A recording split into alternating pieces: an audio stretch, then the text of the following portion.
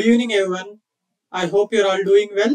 Welcome to T one academy current affairs classes ఈ రోజు current affairs క్లాసెస్లో భాగంగా మనం న్యూస్లో ఉన్న కొన్ని ముఖ్యమైన అంశాల గురించి చర్చించుకుందాం. అవేంటంటే coming on to the first topic for today recently Niti Aayog పావర్టీకి సంబంధించి ఒక రిపోర్ట్ని రిలీజ్ చేయడం జరిగింది. ఇండియాలో పావర్టీ శాతం ఇంతవరకు తగ్గింది. దేశంలో ప్రజలు ఈ పేదరికం నుంచి ఎంతమంది బయటకు వచ్చారు? లాస్ట్ తొమ్మిదేళ్ళలో నరేంద్ర మోడీ గారి పాలన స్టార్ట్ అయిన తర్వాత ఎంతమంది బయటకు వచ్చారు అవన్నీ చెప్తూ దానికి సంబంధించిన డీటెయిల్స్ ఇస్తూ నీతి ఆయోగ్ వాళ్ళు ఒక రిపోర్ట్ని రిలీజ్ చేయడం జరిగింది. దానికి సంబంధించి నా న్యూస్ మనం ఈ రోజు తెలుసుకుందాం. బేసిక్గా నీతి ఆయోగ్ వాళ్ళు ఏం చెప్పారంటే లాస్ట్ తొమ్మిదేళ్ళలో దేశంలో seventeen point eight nine percentage of the people పేదరికం నుంచి బయటకు రావడం జరిగింది అని తెలియజేశారు. ఓకే? ఈ పర్సెంటేజ్ ఇంపార్టెంట్ గైస్ ఎగ్జామ్లో అడుగుతారు. ఎందుకంటే ఇది నీతి ఆయోగ్ వాళ్ళు ఇచ్చిన రిపోర్ట్ అందులో పవర్టీ మీద ఇచ్చిన రిపోర్ట్ అండ్ పవర్టీ పవర్టీ అటు టిఎస్పిఎస్సి ఏపీఎస్సి ఎగ్జామ్స్లో సపరేట్ ఇండియన్ ఎకానమీలో భాగంగా సపరేట్ ఒక టాపిక్ కూడా ఉంది పవర్టీ కాబట్టి. ఈ seventeen point eight nine percentage అనేది చాలా చాలా important seventeen point eight nine percentage అంటే అది పర్సెంటేజ్లో భాగంగా. మరి టోటల్గా ప్రజలు ఎంతమంది బయటకు వచ్చారు పేదరికం నుంచి? లాస్ట్ తొమ్మిదేళ్ళలో అంటే ఇరవై నాలుగు పాయింట్ ఎయిట్ టూ క్రోర్స్ అంటే twenty four point eight two crores of people came out of poverty in the last nine years okay two thousand thirteen ఫోర్టీన్లో పవర్టీ ఎస్టిమేట్స్ తీసినప్పుడు twenty nine point one seven percentage of poor people ఉన్నారు దేశంలో అని చెప్పి report రావడం జరిగింది. మరి two thousand twenty two twenty త్రీలో నీతి ఆయోగ్ రిపోర్ట్ ప్రకారం లెవెన్ పాయింట్ టూ ఎయిట్ పర్సెంటేజే ఉన్నారు. ఈ డిఫరెన్స్ ఉంది కదా ఈ ట్వంటీ నైన్ నుంచి లెవెన్ మధ్యలో ఆ డిఫరెన్స్ ఈ seventeen point eight nine percentage of people వీళ్ళందరూ కూడా భారతదేశంలో పవర్టీ నుంచి బయటపడ్డారు అని చెప్పి నీతి ఆయోగ్ తెలియజేయడం జరిగింది. అందులోనూ ముఖ్యంగా దేశంలోనే అత్యంత పెద్ద రాష్ట్రం అండ్ అత్యంత వెనుకబడిన రాష్ట్రాల కేటగిరీలో ఉన్న ఉత్తరప్రదేశ్ మరియు బీహార్లో ఎక్కువ మంది పేదరికం నుంచి బయటపడడం జరిగింది. ఉత్తరప్రదేశ్లో five point nine four crore people came out of poverty and in Bihar three point seven seven crore people బయటకు వచ్చడం జరిగింది. తర్వాత మధ్యప్రదేశ్లో రెండు పాయింట్ మూడు సున్నా రెండు two point three crore peoples బయటకు రావడం జరిగింది. ఇవి కూడా ఇంపార్టెంట్ గైస్ ఉత్తరప్రదేశ్ బీహార్ లాంటి రాష్ట్రాల నుంచి ఎక్కువ మంది పేదరికం నుంచి బయటపడ్డారనే పాయింట్ కూడా ఇంపార్టెంట్ మరి ఇండియాలో పవర్టీ ఎస్టిమేట్స్ చేయడానికి దేన్ని యూజ్ చేస్తారు? ఒక ఇండెక్స్ అంటూ ఉండాలి కదా. మరి ఏం యూజ్ చేస్తారు ఇండియాలో? Multi dimensional poverty index in India for poverty estimates multi dimensional poverty index is been used multi dimensional poverty index is been used okay మరి దీన్ని ఎవరు ఇచ్చారు? ఇందాక ఏం చెప్పారు? నీతి ఆయోగ్ ఇచ్చిందని చెప్పాను కదా? మరి నీతి ఆయోగ్ ఇచ్చినప్పుడు నీతి ఆయోగ్ సంబంధించిన బేసిక్ డీటెయిల్స్ కూడా మనకు తెలియాలి కదా? మరి ఈ నీతి ఆయోగ్కి చైర్మన్ ఎవరు? ప్రైమ్ మినిస్టర్ ఎవరు ఉంటే ఆయన చైర్మన్ ఉంటాడు. మరి vice chairman or vice president ఎవరు? ఈ Suman Bery Suman Bery is the vice president of this Niti Aayog and CEO రీసెంట్గా తెలుగు తెలుగు రాష్ట్రాలకు సంబంధించిన వ్యక్తి సిఇఓ గా అపాయింట్ కావడం జరిగింది కదా. మరి నీతి ఆయోగ్ సిఇఓ ఎవరు guys Niti Aayog CEO BVR Subrahmanya Swamy Subrahmanya Swamy అంటే బీజేపీ రాజ్యసభ ఎంపీ కాదు ఆయన వేర. ఆయన వేర సుబ్రహ్మణ్య స్వామి ఈయన BVR Subrahmanya Swamy who is an ex IAS officer is the present CEO of Niti Aayog మరి వీళ్ళు దేని మీద వేటి వేటి ఈ రిపోర్ట్ తీసుకున్నారు? ఈ రిపోర్ట్కి వేటిని ఉపయోగించారంటే పన్నెండు సుశీర్ధ సుశీర్ధ అభివృద్ధి లక్ష్యాలు ఉన్నాయి కదా? That is SDGs twelve sustainable development goals ఉన్నాయి కదా? టూ థౌజండ్ థర్టీ వరకు సాధించాలని చెప్పి ప్రపంచం లక్ష్యంగా పెట్టుకుంది. ఆ పన్నెండు సస్టైనబుల్ డెవలప్మెంట్ గోల్స్కి ఉపయోగపడే ఆరోగ్యం అంటే హెల్త్ విద్య ఎడ్యుకేషన్ జీవన ప్రమాణాలు. ఓకే జీవన ప్రమాణాలు ఈ మూడుటి ఆధారకం ఆధారంగా చేసుకొని ఈ పేదరిక నివేదికను నీతి ఆయోగ్ వాళ్ళు రూపొందించడం జరిగింది. దీనికి సంబంధించిన మీటింగ్లో నీతి ఆయోగ్ సిఇఓ అయిన బివిఆర్ సుబ్రహ్మణ్యం గారు మాట్లాడుతూ బహుమితీయ పేదరికాన్ని అంటే మల్టీ డైమెన్షనల్ పవర్టీని వన్ శాతం వన్ శాతం కంటే తక్కువకు తీసుకురావడానికి ప్రభుత్వం లక్ష్యంగా పెట్టుకుందని ఆ దిశంగా గవర్నమెంట్ ఆఫ్ ఇండియా ప్రయత్నాలు చేస్తుందని చెప్పి తెలియజేయడం జరిగింది. ఇదంతా దీనికి సంబంధించి ఇంపార్టెంట్ ఇది టాపిక్ చాలా ఇంపార్టెంట్గా ఎందుకంటే ఇండియన్ ఎకానమీ టిఎస్పిఎస్సి వాళ్ళకి నూట యాభై మార్కులకు ఉంది. India India sorry you ABPSC వాళ్ళకి కూడా చాలా ఇంపార్టెంట్ టాపిక్ అందులోనూ పవర్టీ స్పెషల్గా మెన్షన్ చేశారు. ఆ పవర్టీకి సంబంధించిన కరెంట్ టాపిక్ అండ్ అదిలోను అందులోను నీతి ఆయోగ్ వాళ్ళు ఇచ్చిన రిపోర్ట్ ఇండియాలో నీతి ఆయోగ్ కన్నా ప్రామాణికమైన సంస్థ ఉందా ప్రస్తుతానికి? ఇలాంటి రిపోర్ట్స్కి సంబంధించినంత వరకు లేదు కదా. ఆర్థిక వ్యవహారాలకు సంబంధించినంత వరకు. సో ఈ seventeen point eight nine percentage twenty nine point twenty four point eight two crore బయటకు వచ్చారు. ఇవన్నీ కూడా వెరీ వెరీ ఇంపార్టెంట్ డేటా మనం చాలా మంది అంటూ ఉంటారు ఓ ఎకానమీలో స్టాట్స్ అడుగుతాడు స్టాట్స్ అడుగుతాడు అని. స్టాట్స్ అడుగుతాడు కానీ ఇంపార్టెంట్ స్టాట్స్ మాత్రమే అడుగుతాడు. సో అది ఇది very very important stat okay right now coming on to the next topic for today that is Telangana state at World Economic Forum World Economic Forum కి తెలంగాణ రాష్ట్ర ముఖ్యమంత్రి రేవంత్ రెడ్డి గారు వెళ్ళడం జరిగింది కదా? ఎస్ అలాగే బట్ ఆంధ్ర ముఖ్యమంత్రి ఆంధ్రప్రదేశ్ ముఖ్యమంత్రి జగన్మోహన్ రెడ్డి గారు వెళ్ళలేదు. ఈసారి ఇంతకు ముందు వెళ్ళేవారు ఈసారి వెళ్ళలేదు. ఈసారి తెలంగాణ రాష్ట్రానికి సంబంధించిన కొత్త ముఖ్యమంత్రి రేవంత్ రెడ్డి గారు వెళ్ళడం జరిగింది. అందులో భాగంగా ఒక అగ్రిమెంట్ ఒక ఎంఓయు కుదరడం జరిగింది. అది దేనికి సంబంధించిన అగ్రిమెంట్ అంటే ఫస్ట్ బేసిక్గా వరల్డ్ ఎకనామిక్ ఫోరం ఎక్కడ జరుగుతుంది? స్విట్జర్లాండ్లోని దావోస్లో జరుగుతుంది. అందులో భాగంగా తెలంగాణ రాష్ట్రానికి ఒక ప్రత్యేకమైన గుర్తింపు మరియు అరుదైన అరుదైన అవకాశం లభించింది. అదేంటి? తెలంగాణలోని హైదరాబాద్లో సెంటర్ ఫర్ ఫోర్త్ ఇండస్ట్రియల్ రెవల్యూషన్ను హైదరాబాద్లో ప్రారంభించేందుకు వరల్డ్ ఎకనామిక్ ఫోరం మరియు తెలంగాణ ప్రభుత్వం మధ్యలో ఎంఓయు కుదరడం జరిగింది. సో ఇండియాలో కొత్తగా ఇండియాలో కొత్తగా centre for fourth industrial revolution అంటే నాలుగవ పారిశ్రామిక విప్లవం సంబంధించిన సెంటర్ని ఎక్కడ స్టార్ట్ చేయబోతున్నారు అని అడుగుతారు. That is in Hyderabad Hyderabad. మరి ఇది ఎప్పుడు స్టార్ట్ చేస్తున్నారు? హైదరాబాద్లో ఎవ్రీ ఇయర్ బయోఏషియా మీటింగ్ జరుగుతుంది కదా? Every year last time twenty eighth జరిగింది ఇప్పుడు ట్వంటీ ఫస్ట్ జరగబోతుంది. హైదరాబాద్లో ఫిబ్రవరి ట్వంటీ ఎయిత్ న జరగనున్న బయోఏషియా మీటింగ్ సందర్భంగా ఈ centre for centre for industrial revolution సెంటర్ని స్టార్ట్ చేయబోతున్నారు. Okay?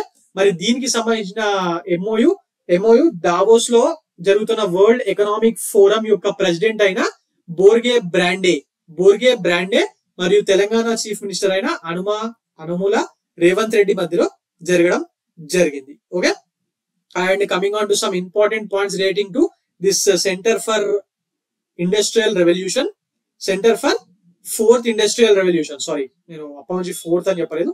Centre for fourth industrial revolution దీనికి సంబంధించిన పాయింట్స్ దీని network centre for fourth industrial revolution సంబంధించిన నెట్వర్క్ అనేది ఆల్రెడీ ఫైవ్ కాంటినెంట్స్లో ఉంది.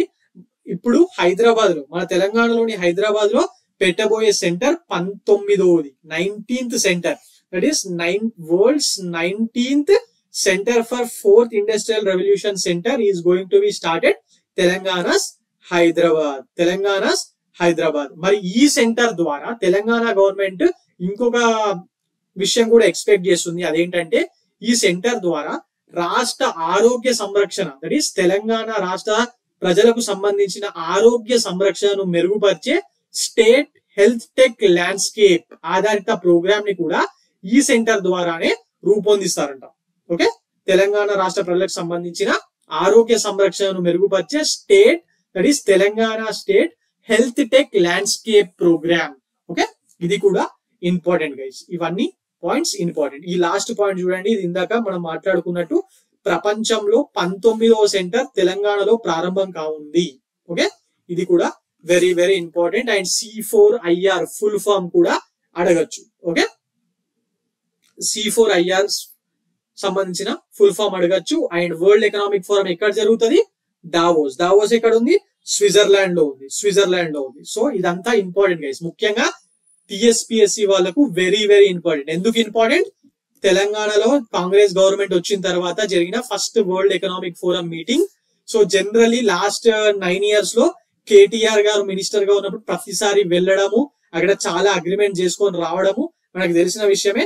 ఒక ఒక అభిప్రాయం ఉంది. తెలంగాణ జనాల్లో కూడా కేటీఆర్ తీసుకొచ్చినన్ని కాంగ్రెస్ వాళ్ళు తీసుకురాగలుగుతారా లేదా? ఇలాంటి uh, వరల్డ్ ఎకనామిక్ ఫోరమ్స్ లాంటి మీటింగ్స్లో కేటీఆర్ మాట్లాడినంత గొప్పగా కొత్త ముఖ్యమంత్రి లేకపోతే ఐటీ మంత్రి ఆర్ ఇండస్ట్రీస్ మంత్రి వీళ్ళు మాట్లాడి తీసుకురాగలుగుతారా అని ఒక క్వశ్చన్ మార్క్ ఉండేది. దానికి సంబంధించిన ఆన్సర్ కాంగ్రెస్ గవర్నమెంట్ ఇచ్చిన ఆన్సరే ఈ ఎంఓయు సో ఆటోమేటిక్గా వాళ్ళ అచీవ్మెంట్ కాబట్టి ఇది తెలంగాణ గవర్నమెంట్ యొక్క అచీవ్మెంట్ కాబట్టి కాంగ్రెస్ గవర్నమెంట్ యొక్క అచీవ్మెంట్ కాబట్టి ఖచ్చితంగా ఎగ్జామ్లో అడుగుతారు. Okay so please try to remember this topic okay right Now coming on to the next topic for today, that is about Corbevax vaccine ఈ కోర్బేవాక్స్ వ్యాక్సిన్ కోవిడ్ సంబంధించిన vaccine అండి. ఇది రీసెంట్ ఇంతకు ముందే రిలీజ్ అయింది. ఆల్రెడీ దేశంలో దీన్ని twelve to fourteen years age పిల్లలకు అండ్ అంతకన్నా ఏజ్ తక్కువ ఏజ్ ఉన్న పిల్లలకు ఆల్రెడీ వినియోగిస్తున్నారు. దీనికి మన గవర్నమెంట్ ఆఫ్ ఇండియాకి సంబంధించిన డిజిసిఐ అప్రూవల్ ఇంతకు ముందు నుంచే ఉంది. మరి దీన్ని ఎవరు తయారు చేశారంటే మన జినోమ్ వ్యాలీలో ఉన్న company that is Biological E that is Biological E అనే ఒక కంపెనీ ఉంటుంది. ఇది హైదరాబాద్లో చాలా ప్లేసెస్లో ఉంది. బట్ జియోనోమ్ వ్యాలీలో కూడా మెయిన్గా ఉంటుంది. అక్కడ ఉన్న ఆర్గనైజేషన్ ఈ బయోలాజికల్ ఈ కార్బోవాక్స్ని వ్యాక్సిన్ ఇది. దీన్ని తయారు చేయడం జరిగింది. మరి రీసెంట్గా ఇది ఎందుకు న్యూస్లో ఉంది కార్బోవాక్స్ అంటే this is been recently approved by World Health Organization as a emergency use లిస్ట్లో ఉండే వ్యాక్సిన్స్లో దీన్ని అప్రూవ్ చేయడం జరిగింది. డబ్ల్యూహెచ్ఓ వాళ్ళు. మరి డబ్ల్యూహెచ్ఓ అప్రూవ్ చేస్తే దీన్ని ప్రపంచ వ్యాప్తంగా వాడడం స్టార్ట్ అవుతుంది కదా ఇప్పటి నుంచి? ఎస్ ప్రపంచ వ్యాప్తంగా వాడతారు. బట్ ఇప్పటి వరకు ఆల్రెడీ మన దేశంలోనే టెన్ క్రోర్స్ పైగా కార్బీవాక్స్ వ్యాక్సిన్లను టీకాలను కేంద్ర ప్రభుత్వానికి ఈ కంపెనీ వాళ్ళు అందించడం జరిగింది. మరి వీళ్ళు వీళ్ళు అందించిన ఈ వ్యాక్సిన్స్ని government of India twelve to fourteen years age కన్నా తక్కువ ఉన్న పిల్లల మీద వాడడం జరిగింది. ఓకే? ఇది మన హైదరాబాద్ బేస్డ్ కంపెనీ అండి. అండ్ um, ఇన్వెస్టర్స్ మెయిన్గా ఈ కంపెనీ స్టార్ట్ చేసింది ఆంధ్ర ప్రాంతానికి సంబంధించిన వాళ్ళు. సో ఆటోమేటిక్గా ఇటు టిఎస్పిఎస్సి వాళ్ళకు ఇటు ఏపీఎస్సి వాళ్ళకు ఇద్దరికి వెరీ వెరీ ఇంపార్టెంట్ అవుతుంది. మరి ఇది ఏ టెక్నాలజీ ఆర్ ఏ ప్లాట్ఫామ్ మీద స్టార్ట్ చేశారు అనేది కూడా ఇంపార్టెంటే కదా? దీన్ని ప్రోటీన్ సబ్ యూనిట్ ప్లాట్ఫామ్ పై ఇది protein subunit platform okay? Protein subunit platform పై మన దేశంలో తయారైన మొదటి కోవిడ్ వ్యాక్సిన్ అంట. This is the first Covid vaccine India which is done on protein subunit platform ఈ point important guys protein subunit platform అనే point కూడా వెరీ వెరీ ఇంపార్టెంట్ ఇది ఎక్కడ ఉంది? హైదరాబాద్లో జినోమ్ వ్యాలీలో ఉంది ప్లస్ uh, మన బాజ్పల్లి ఆ ఏరియాలో కూడా దీనికి సంబంధించి ఉంటుంది. మన అశోక్ నగర్ మీదుగా వీళ్ళకి సంబంధించిన బస్సెస్ ఆర్టీసీ క్రాస్ రోడ్స్ మీద కూడా వెళ్తా ఉంటాయి. మీరు ఎప్పుడైనా చూసుంటే ఒకసారి గమనించండి. కనిపిస్తే గమనించండి. గుర్తుపెట్టుకోవడానికి మీకు ఈజీగా ఎగ్జామ్లో గుర్తుపెట్టుకోవడానికి చూసిన విషయాలే ఈజీగా గుర్తుంటాయి. చదివిన విషయాల కన్నా. Okay? Right. Now coming on to the next topic for today that is రీసెంట్గా military strength ranking two thousand twenty four అనే ఒక రిపోర్ట్ని గ్లోబల్ ఫైర్ పవర్ వాళ్ళు రిలీజ్ చేయడం జరిగింది. గ్లోబల్ ఫైర్ పవర్ వాళ్ళు military strength rankings two thousand twenty four అనే రిపోర్ట్ని రిలీజ్ చేయడం జరిగింది. ఆ రిపోర్ట్లో భాగంగా ప్రపంచంలో మోస్ట్ పవర్ఫుల్ ఆర్మీ ఉన్న దేశాల్లో భారతదేశం ఫోర్త్ ప్లేస్లో నిలవడం జరిగింది. మరి ఇది మొత్తం ఎన్ని దేశాలకు సంబంధించింది? మొత్తం నూట నలభై ఐదు దేశాలని సంబంధించిన అన్ని విషయాలు. వాళ్ళ సైనికుల సంఖ్య ఎంత? వాళ్ళ ఆయుధాలు ఎన్ని? వాళ్ళ ఎకానమీ వాళ్ళ ఎకానమీ ఎంత పెద్దగా ఉంది? వాళ్ళ భౌగోళిక పరిస్థితులు దట్ ఈస్ జాగ్రఫీ వాళ్ళ ఆర్థిక వనరులు వాళ్ళ హ్యూమన్ రిసోర్సెస్ ఇలా మొత్తంగా అరవై పైగా అంశాలను పరిగణ పరిగణలోకి తీసుకొని నూట నలభై ఐదు దేశాలకు సంబంధించిన విషయం మీద ఈ నివేదిక రిలీజ్ చేయడం జరిగింది. అందులో ఇండియా ఫోర్త్ ప్లేస్లో ఉంది. మరి ఫస్ట్ త్రీ దేశాలు ఏంటి ఫస్ట్ త్రీ దేశాలు యాజ్ యూజువల్ ఫస్ట్ ఎవరు ఉంటారు USA. Second Russia. Third is China. Okay? Bharat నాలుగో స్థానంలో ఉన్న ఈ మూడు దేశాలు కూడా ఇంపార్టెంట్. అలాగే నూట నలభై ఐదు నలభై ఐదో దేశం దట్ ఈస్ లాస్ట్ ప్లేస్లో దేశం ఇది that is Bhutan guys Bhutan మరి ఇండియా తర్వాత ఇండియా ఫోర్త్ అవుతే సౌత్ కొరియా ఫిఫ్త్ ప్లేస్లో యూకే వాళ్ళు సిక్స్త్ ప్లేస్లో జపాన్ సెవెంత్ ప్లేస్లో తుర్కీయే తుర్కీ అంటే ఇంతకు ముందు టర్కీ అనేవాళ్ళు ఇప్పుడు దాన్ని తుర్కీ అంటున్నారు.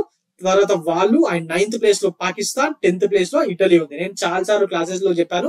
మనం పాకిస్తాన్ని అదొక వేస్ట్ కంట్రీ యూజ్లెస్ కంట్రీగా చూస్తాం. ఎస్ అది కరెక్టే బట్ స్టిల్ మొత్తం పాకిస్తాన్లో ఏదైనా ఒక ఇన్స్టిట్యూషన్ ఆర్గనైజేషన్ ఎవరైనా పవర్ఫుల్గా ఉన్నారు అంటే అది పాకిస్తాన్ మిలిటరీయే పాకిస్తాన్ ఒక యూజ్లెస్ దేశమే. But Pakistan as a military Pakistan military is powerful దీన్ని మరి వన్ సైడెడ్గా తక్కువ చేయడానికి వీల్లేదు అనే పాయింట్ గుర్తుపెట్టుకోండి ఓకే సో ఇందులో గుర్తుపెట్టుకోవాల్సిన పాయింట్ ఏంటి? ఈ రిపోర్ట్ ఇచ్చింది ఎవరు? గ్లోబల్ ఫైర్ పవర్ పేరేంటి? Military strength rankings two thousand twenty four India place fourth top three ఎవరు USA Russia China last place one forty fifth ఎవరు? భూటాన్ అలాగే ఈ టాప్ టెన్లో ఉన్న దేశాలు కూడా గుర్తుపెట్టుకోవాలి. మరి పాకిస్తాన్ ఎన్నో place ninth place okay right నా coming on to the next topic for today that is wings India ఇది ప్రతి సంవత్సరం మన తెలంగాణలో హైదరాబాద్లోని బేగంపేట్ విమానాశ్రయంలో జరుగుతుంది కదా? ప్రతి సంవత్సరం జరుగుతుంది. అంతర్జాతీయ విమానాశ్రయాల విమానాల ప్రదర్శనలు ఇక్కడ నిర్వహిస్తూ ఉంటారు. దేశ విదేశాల్లో ఉన్న డిఫరెంట్ బోయింగ్ కంపెనీ ఇలా డిఫరెంట్ డిఫరెంట్ కంపెనీస్ ఉంటాయి కదా వాళ్ళు వాళ్ళకి సంబంధించిన ఎయిర్ క్రాఫ్ట్ని తీసుకొచ్చి ఇక్కడ షోలో పెడతా ఉంటారు. బేసిక్గా ఇది ఎందుకోసం అంటే మన దేశంలోని ఏవియేషన్ సెక్టర్ ఉంది కదా దట్ ఈస్ విమానయాన రంగం అంటారు. దాన్ని అభివృద్ధి చేయడం నేపథ్యంలో ఈ వింగ్ ఇండియా కార్యక్రమాన్ని ప్రతి సంవత్సరం బేగంపేట్లో నిర్వహిస్తూ ఉంటారు. మరి ఈ ఇయర్ దీని యొక్క థీమ్ ఏంటి? Experience the future of aviation experience the future of aviation and this is Asia's largest event on civil aviation ఇది నాలుగు రోజుల పాటు జరుగుతుంది. ఇంతకు ముందు ఆల్రెడీ టిఎస్పిఎస్సి ఎగ్జామ్స్లో దీని మీద వింగ్స్ ఇండియా కార్యక్రమం మీద ఎగ్జామ్లో క్వశ్చన్ రావడం జరిగింది. సో ఈసారి కూడా అడగచ్చు. సో ఈ వింగ్స్ ఇండియా ఎక్కడ జరుగుతుంది? బేగంపేట్ ఎయిర్పోర్ట్ లా ఓకే? బేగంపేట్ ఎయిర్పోర్ట్ లా జరుగుతుంది. దీని theme experience the future of aviation మరి ఇది ఎందుకోసం నిర్వహిస్తారు? దేశంలో సివిల్ ఏవియేషన్ రంగం ఉంది కదా దాన్ని అభివృద్ధి చేయడం నేపథ్యంలో వింగ్స్ ఇండియా కార్యక్రమాన్ని నిర్వహిస్తూ ఉంటారు. ప్రపంచవ్యాప్తంగా ఉన్న పెద్ద పెద్ద కంపెనీస్ లైక్ బోయింగ్ వాళ్ళు వాళ్ళ విమానాలని ఇక్కడ ప్రదర్శనకు ఉంచుతారు. ఈసారి నాలుగు రోజుల పాటు జరగనుంది. ఎప్పుడు? Eighteen to twenty one. ఇదేం ఎయిటీన్ టు ట్వంటీ వన్ అనేది ఎగ్జామ్లో అడగరు. బట్ మీకు వీలుంటే ఫ్రీగా ఉంటే వెళ్ళిరండి టికెట్ ఫైవ్ హండ్రెడ్ రూపీస్ ఏమో ఉంటుంది బట్ ఇంతకు ముందు ఎప్పుడు మనకి ఎక్కిన ఎక్స్పీరియన్స్ లేకపోయినా అశోక్ నగర్లో చాలా మంది విద్యార్థులకు ఏ ఫ్లైట్ ఎక్కిన ఎక్స్పీరియన్స్ ఉండదు. మిడిల్ క్లాస్ వాళ్ళు పేద విద్యార్థులు ఇక్కడ ఉంటూ ఉంటారు కాబట్టి ఒకసారి వెళ్ళి చూసి రండి. Okay coming on to the next topic that is will be dealing some MCQs on the topic which are in the news okay coming on to the first question for today that is what is the IUCN status of gentoo penguin gentoo penguin which was recently seen in the news gentoo penguin అనేది ఒకటి రీసెంట్గా న్యూస్లో ఉందండి ఈ penguin type of penguins ఎందుకంటే they were recently spotted in Antarctica Chile Chile అనే దేశం ఉంది కదా సౌత్ అమెరికన్ కాంటినెంట్లో ఉంటుంది. దానికి దగ్గరలో ఉన్న అంటార్టికాలో అంటార్టికాలో ఈ జెంటియో పెంగ్విన్ జెంటో పెంగ్విన్ ఇది మొత్తం ఆల్ వైట్ కలర్లో ఉంటాయి టోటలీ వైట్ కలర్లో ఉంటాయి.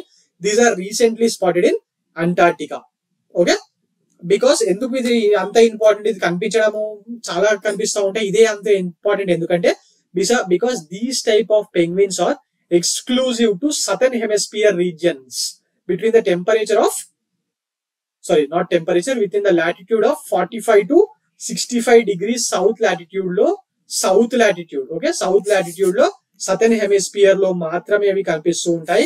Basically these are typically found along shore lines shore ఏరియాస్లో అది కూడా అంటార్టికా ఏరియాలో మాత్రమే ఇవి కనిపిస్తూ ఉంటాయంట. సో ఇవి చాలా సంవత్సరాల తర్వాత కనిపించేసరికి ఇది న్యూస్లో ఉంది. దీస్ ఆర్ ప్రిడామినెంట్లీ ఇవి ఎక్కడ కనిపిస్తాయంటే అర్జెంటీనా వాళ్ళకి సంబంధించిన ఐలాండ్స్ ఉన్నాయి కదా ఫాల్క్లైన్ ఐలాండ్స్. అదే సారీ అర్జెంటీనాకు దగ్గరలో ఉండే ఫాల్క్లైన్ ఐలాండ్స్ ఉన్నాయి కదా ప్రిడామినెంట్ అక్కడే ఉంటూ ఉంటాయి అవి. These penguins are classified as least concern IUCN red లిస్ట్లో లీస్ట్ కన్సర్న్ లిస్ట్లో ఇవి ఉండడం జరిగింది ఓకే?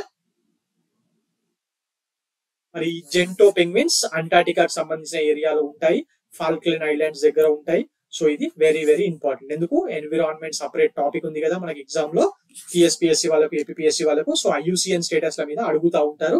మరి జెంటో పెంగ్విన్ అనేది లీస్ట్ కన్సర్న్ కిందకి వస్తుంది. ఇది న్యూస్లో ఉంది ఇప్పుడు. So please try to read on this topic now coming on to the next question for today what target has the government set to reduce accidental death by two thousand thirty మన దేశంలో accidents death చాలా ఎక్కువగా జరుగుతూ ఉంటాయి కదా. ప్రతి సంవత్సరం మనం ఎప్పుడు న్యూస్లోనే ఉంటాం. మన దేశంలో మొన్న నితిన్ గడ్కరీ గారు ఒక national conclave and road road safeties మీద ఒక నేషనల్ కాన్క్లేవ్ జరిగింది న్యూఢిల్లీలో అక్కడ ఆయన రిపోర్ట్ తెలియజేస్తూ మన దేశంలో ప్రతి గంటకు యాభై మూడు మంది రోడ్ యాక్సిడెంట్స్లో ప్రమాదాలకు గురవుతూ ఉంటారని అందులో పంతొమ్మిది మంది చనిపోతూ ఉంటారు మరియు యాభై మూడు మందిలకు తీవ్రంగా దెబ్బలు తగులుతూ ఉంటాయని చెప్పి చెప్పడం జరిగింది. ఇది వినడానికి ఎంత ఆశ్చర్యంగా ఉంది. గంటకు పంతొమ్మిది మంది మన దేశంలో చనిపోతారంట రోడ్ యాక్సిడెంట్స్ మీద. ఎంత ఆశ్చర్యం తెలుసా? ఎందుకు? Over speeding line driving follow కావడం ఫాలో కాకపోవడం. మన హైదరాబాద్లో చాలా మందికి అసలు లైన్ డ్రైవింగ్ అంటే ఏంటో కూడా తెలియదు. ఇష్టం ఉన్నట్టు పోతా ఉంటారు స్టైల్గా రైట్? జిగ్జాగ్ డ్రైవింగ్ చేస్తూ ఉంటారు. ఓకే? సో ఇలాంటి ఫాలో కాకపోవడం ఇవన్నీ ఉన్నాయి. మరి గవర్నమెంట్ వాళ్ళు ఒక టార్గెట్ పెట్టుకున్నారు.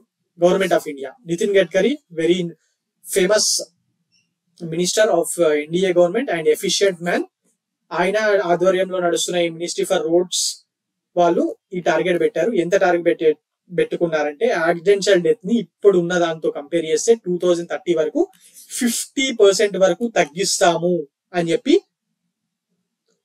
చెప్పడం జరిగింది. మరి ఎలా తగ్గిస్తారు? ఎలా తగ్గిస్తారంటే that we are giving road safety a top priority and we are making many government initiatives in the public and stressing telling the public about the importance of this road safety public education campaigns నడుపుతున్నాము. ఎందువల్ల అంటే జనాల behaviour జనాల road road driving rash driving lane driving ఇవన్నీ change అవుతేనే safety అనేది పెరుగుతుంది. అప్పుడే ఈ మరణాలు అనేది తగ్గుతాయి. అందువల్ల మేము ఈ కార్యక్రమం చేపడుతున్నాము. అందులో భాగంగా మా టార్గెట్ ఇప్పటి వరకు ఉన్న యాక్సిడెంట్స్ మరణాల్లో యాభై పర్సెంట్కి తీసుకురావాలి టూ థౌజండ్ థర్టీ వరకు అని పెట్టుకున్నారు. ఇది important. Okay? Right. Coming on to the next question for today that is fast tag national highways మీద మనం కార్లలో వస్తూ ఉంటే లేకపోతే బస్సెస్లో వస్తూ ఉన్న ఫాస్ట్ ట్యాగ్ అని చెప్పి టోల్ గేట్స్ దగ్గర ఇప్పుడు కొత్తగా కొత్తగా ఇప్పుడు కొత్తగా ఏం చాలా రోజులు అవుతుంది కదా? అది ఇంప్లిమెంటింగ్లో ఉంది కదా దానికి సంబంధించి ఏ టెక్నాలజీ వాడుతున్నాడు అనేది చాలా సార్లు ఎగ్జామ్స్లో సెంట్రల్ గవర్నమెంట్ ఎగ్జామ్స్లో అడుగుతున్నాడు. మరి ఈ ఫాస్ట్ ట్యాగ్స్ని ఎవరు నిర్వహిస్తున్నారు? NHA national highway authority of India వాళ్ళు నిర్వహిస్తున్నారు కదా వాళ్ళు రీసెంట్గా ఒక ఇనిషియేటివ్ తీసుకొచ్చారు. ఏమని? One vehicle one fast tag initiative okay మరి దీంట్లో ఏ టెక్నాలజీ వాడుతున్నారంటే ఆర్ఎఫ్ఐడి టెక్నాలజీ వాడుతున్నారు. Okay RFID technology radio frequency identification radio frequency identification టెక్నాలజీని వీళ్ళు వాడటం జరుగుతుంది. ఇది ఇంపార్టెంట్గా ఎస్ఐ ఈవెంట్స్ ఉంటాయి కదా అప్పుడు కూడా ఈ ఆర్ఎఫ్ఐడి టెక్నాలజీనే వాడతా ఉంటారు. మరి ఇది ఎలా అంటే మన వెహికల్స్ మీద ఒక ట్యాగ్ ఉంటుంది. వీళ్ళకి సంబంధించిన ఒక ట్యాగ్ ఆర్ఎఫ్ఐడి ట్యాగ్ ఉంటుంది. దాన్ని అక్కడ టోల్ బూత్లో ఉన్న సెన్సార్స్ గుర్తుపట్టి ఆటోమేటిక్గా మనం ట్రావెలింగ్లో ఉన్నప్పుడే కొంచెమే ఆగుతాం ఏదో కొన్ని కొన్నిసార్లు అది కూడా ఆగదు వెళ్ళిపోతా ఉంటాయి. దీనివల్ల వెహికల్స్ మూమెంట్ ఫాస్ట్ అయ్యి ట్రావెలింగ్ టైం అనేది తగ్గుతుంది. Okay. Is that the current affairs. For more current affairs like that, please visit T1 Academy. Thank you.